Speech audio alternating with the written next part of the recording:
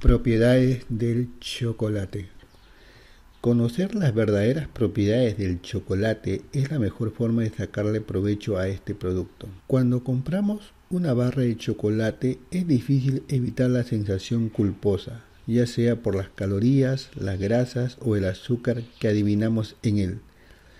Sobrevive en nosotros la idea de que se trata de un gusto exclusivo para el paladar, más no para nuestro organismo. Hay que saber elegir.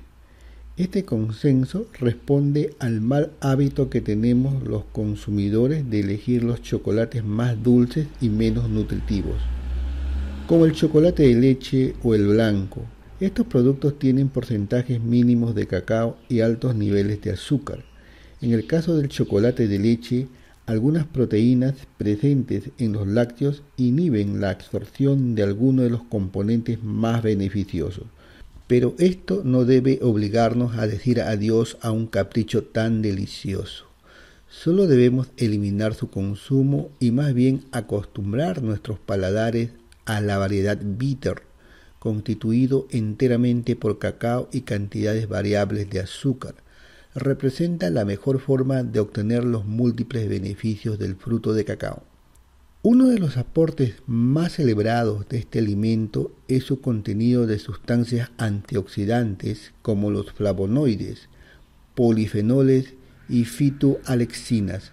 Estos componentes evitan la oxidación de nuestras células y previenen enfermedades cardiovasculares, padecimientos propios del envejecimiento como la arteriosclerosis y enfermedades degenerativas.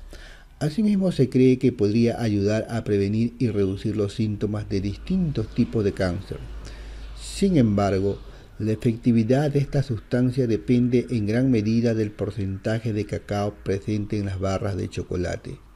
Si bien las leyes internacionales establecen un mínimo de 35% de cacao para que se califique como chocolate bitter, lo más recomendable es preferir las variedades con 60 o 70%.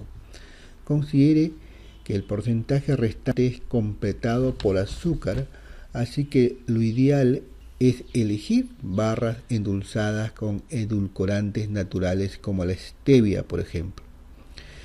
Dicho esto, y al igual que con cualquier otro alimento, los excesos deben evitarse. De no hacerlo, no solo pondrá en riesgo su salud, sino que disminuirá casi por completo sus virtudes. Una barra a la semana es la porción adecuada. No intente convertirlo en un placer diario y haga del chocolate un aliado de su salud. Hasta aquí esta información. No se olvide darnos un me gusta y suscribirse a nuestro canal para más información.